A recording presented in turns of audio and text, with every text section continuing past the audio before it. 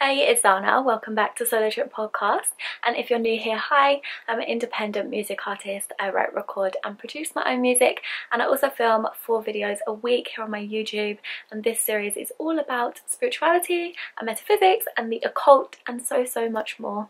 So for this video, this was a question that somebody DM'd me and I gave them advice in my DMs about this but I decided that I needed to film a video on it because it's something that I've experienced myself and I know that a lot of people fall into numbness essentially. And for me numbness and sadness are completely different because numbness is where you like don't feel anything and you literally can't even tune into your emotions because there's a block there.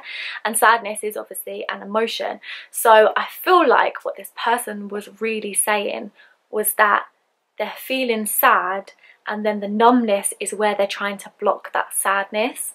So and that happens to so many of us and I've done this a million a million times.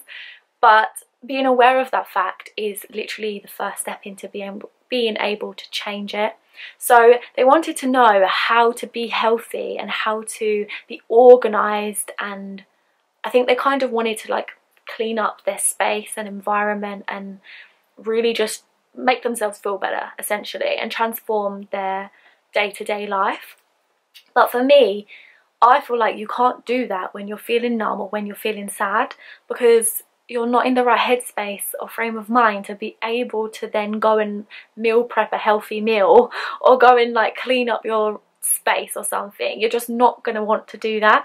So instead of trying to force yourself to do that, I feel like personally you just let go. Like I don't need to clean up. I don't need to make a healthy meal right now. I need to go and feel this emotion because sadness is trying to creep through. And instead of distracting myself or trying to force myself to do something that I don't feel like doing, let me surrender to this sadness and feel that sadness, you know? So, like, when sadness is coming up, let it come up. Cry. Literally, let yourself cry. Or even if you don't feel like crying, but you just feel sad, like, you might want to just lay down in for a minute and just lay there and let your mind think about it and let it just kind of take over your body and just process it. I don't really know how to put it into words because it's a feeling. So for me, I feel like instead of trying to force yourself to do things and to be active and to try and make changes, if there's an emotion coming up, you need to address that first.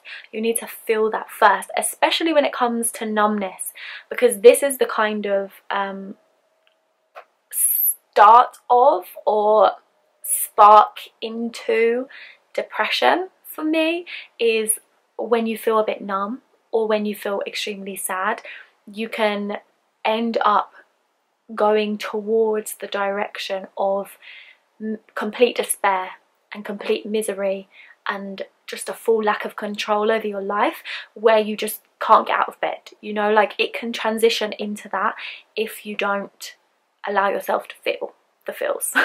so I think number one thing, before you try and take care of yourself, before you try and seek inspiration to get out of bed, you need to feel the feels and let yourself be sad because there's nothing wrong with being sad. All of us feel sad. So there's just nothing wrong with it.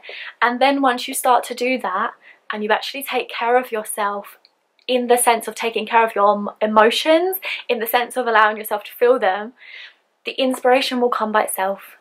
It will come naturally because you're addressing the issue and the root issue. When you go into that sadness, it's not just the emotion that comes, it's the thoughts that come with it. So you'll start thinking about the reasons why you feel sad. They'll start coming up naturally into your mind because they actually are what's triggering the emotion in the first place is your thoughts. So you'll be able to hear those thoughts of why of of all of the um situations that are creating the sadness. And when you hear those thoughts, that's what you need to work through. It's those situations, it's your perception of those situations that you need to work through. So this is where self-care comes in in the sense of shadow work and in the sense of self-awareness and paying attention to and observing your thoughts So you observe your thoughts and become aware of the story that they're telling you as to why you're feeling sad. And that's when you can then work through that story to change that story to perceive it from a different angle and to start to look for the beauty in that story and not just the sadness. Like, even though you let the sadness come up and you acknowledge the sadness, you can then look at where the beauty lies, you can look at where the pain lies, you can look at where the regret lies, or where the guilt lies, or where the shame lies. You can literally go through all of these different emotions that are on the chakra scale and look at where they are in this situation. Like, do you feel this emotion towards this situation as well? And just go through the four things. So you'll go through pride, you'll go through guilt, you'll go through um, neutrality, you'll go through all of the emotions on that scale and just see if you feel them towards this situation and it will really help you process the situation and come to understand it from multiple angles where you can see the beauty of it and see the pain of it at the exact same time because they're both real and true at the exact same time, if that makes any sense. So it's just being able to see the situation from all angles and once you start seeing the bigger picture and the lesson that it's bringing you and the gift that it brings you even though it's painful and even though it's sad you will start to find inspiration in your life. You'll start to realize the all the things that you do have all of the blessings that you have and the fact that you have yourself and the fact that you're brave for even facing these emotions. Like you'll just start to slowly pick yourself back up. Once you are doing your shadow work but you have to be doing it to pull yourself back out. And I feel like um, depression and sadness and things when you get stuck there it's because you're not looking from any other angle. You're just looking from that one. So you get stuck. And of course you would get stuck because if you're just seeing all of the misery you're gonna stay in misery aren't you? Like that makes sense and that's normal. So it's important to start looking at it from all angles of perception and not just that one so that the inspiration will come by itself and you don't need to worry about that. You don't need to force that. It will come by itself as you go on this process of healing because that's essentially what you're doing when you feel numb and you feel sad it's an indication that something needs your attention within yourself. Something needs healing, something needs your love and attention and focus and acknowledgement.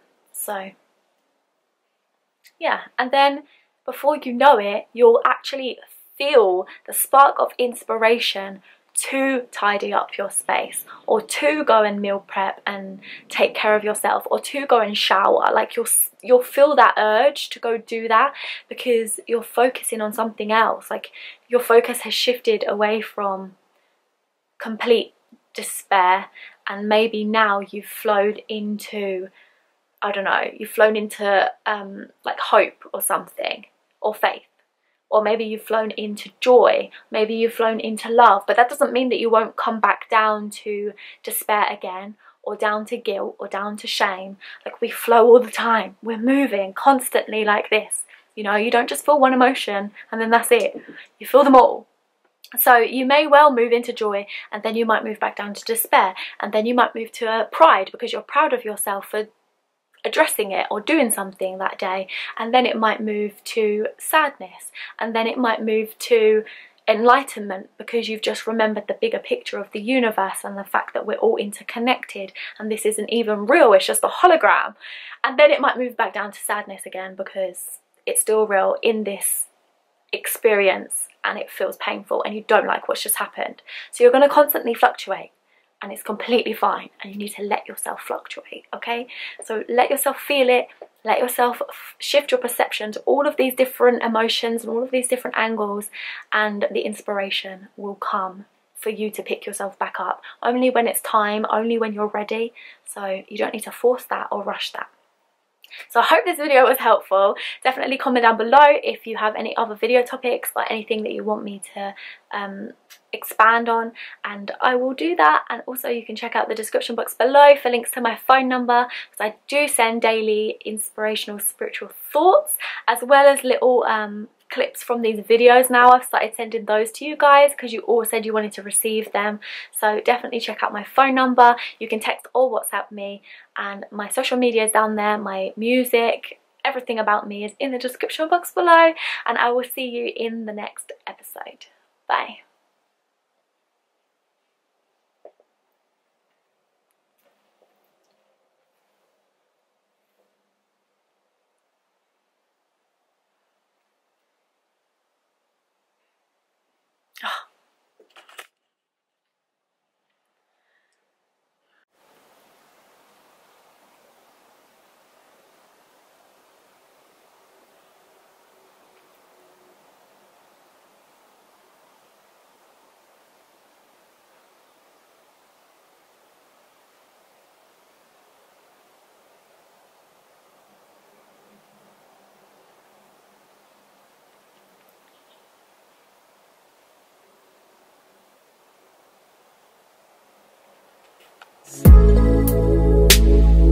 You could say I love you I can't get enough Boy, I just want you to myself